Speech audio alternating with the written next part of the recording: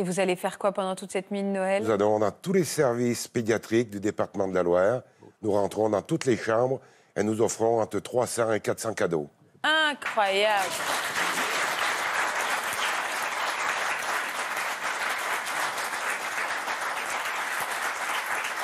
Mais ça fait combien de temps que ça fait combien de temps que vous êtes lancé dans cette aventure d'amour là que... Dans l'association, il y a 28 ans que nous sommes dans l'association.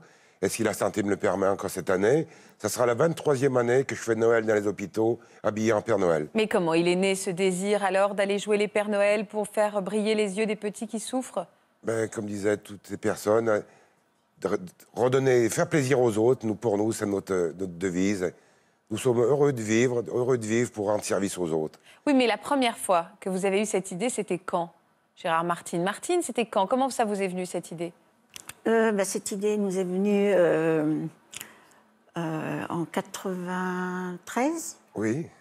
Donc, euh, nous avons voulu faire plaisir aux enfants, leur donner un peu de bonheur. euh, euh, Mais pourquoi vous étiez sensibilisé à la cause des enfants? Vous avez eu vous-même une enfant un Non, peu? le déclic, ça a été Non. notre fille, bon, à l'âge de 3 ans, s'est fait opérer des végétations. Non. Ouais. Une opération tout à fait Oui, bénigne. bénigne, bien sûr. ouais.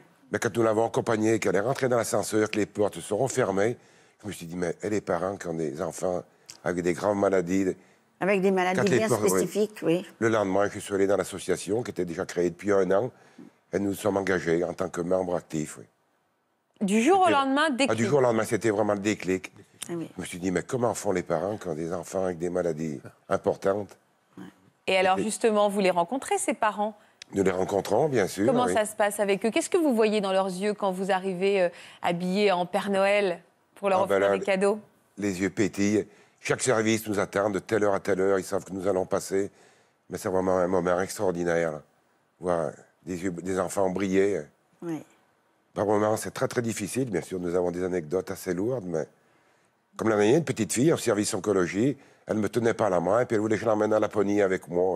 oui. Elle voulait plus me lâcher. oui. C'est vrai? Ou un soir de Noël, bien sûr. Là, c'était 11 heures du soir environ. Je suis rentré dans une chambre au service oncologie. Il y avait une petite fille qui était très mal en point. Ils l'ont débranchée, ils me l'ont mis dans mes bras. Je l'ai portée pendant une demi-heure, trois quarts d'heure. Je lui ai parlé. Elle est décédée quelques heures après. Oui. Ouais, c'est dur. Eh oui. Sur le Père Noël, on parle du Père Noël, mais nous sommes actifs tout au long de l'année, dans tous les hôpitaux du département, tout au long de l'année. Mais le mois de décembre, c'est un mois vraiment magique pour nous. Enfiler l'habit de Père Noël, c'est comme si... Mais, attendez, juste si vous êtes actif tout au long de l'année, avant, c'est de- depuis que vous êtes à la retraite, parce qu'avant, vous ne pouviez Je pas suis à la ça. retraite depuis cinq ans seulement. Bah alors, comment vous faisiez avant pour vous organiser? Ah bah, avant, c'était très, très compliqué, oui. Pour concilier la vie de l'association, la vie active et mon travail euh, professionnel.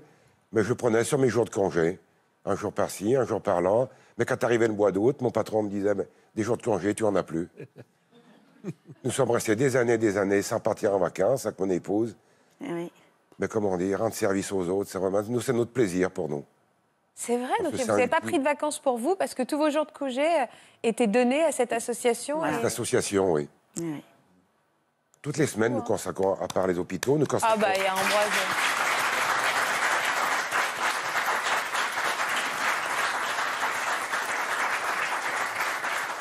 Et le moment que vous nous avez décrit tout à l'heure, qui doit être absolument bouleversant avec cette petite fille qui était très très mal en point, euh, il n'y a pas des moments où vous dites c'est trop dur aussi? Oui, c'est très difficile. très, très dur, oui. Sur le moment, on garde toujours le sourire. Oui. Puis on, on s'y habitue jamais à la maladie d'un enfant, on ne peut pas s'y habituer. Quand on rentre, après, c'est très difficile, oui. Mais sur le moment, on garde toujours le sourire, on arrive à... Et comment ils réagissent vos enfants? Nos enfants, vos, vos propres enfants quand nous on- avons une fille seulement. Elle aussi, pour Noël, toute jeune, déjà nous accompagnait, elle se déguisait en clown. Elle nous accompagnait dans les hôpitaux pour Noël, oui. Nous faisions en famille, dans les hôpitaux. Et après, pour Noël, c'était un nouveau clown. C'est une jeune adhérente de l'association qui a maintenant 22 ans. À l'âge de 4 ans, elle a eu un an d'hôpital, dont six six semaines en chambre stérile. Et à l'âge de 14 ans, quand elle a su qu'elle était guérie, elle est passée voir le Père Noël du lundi. Et là, elle nous a dit tout ce vous m'avez donné, maintenant, je voudrais le rendre aux autres. Oh là tous là. les soirs de Noël, le 24 décembre, elle nous accompagne. Comment elle s'appelle cette jeune femme? Elle s'appelle Aude. Aude? Regardez derrière moi. Salut, je m'appelle Aude, j'ai 21 ans. Je suis membre du Père Noël du lundi depuis que j'ai 14 ans. J'ai connu cette assoce car j'ai eu un cancer durant l'enfance. J'ai donc pu bénéficier de nombreuses animations.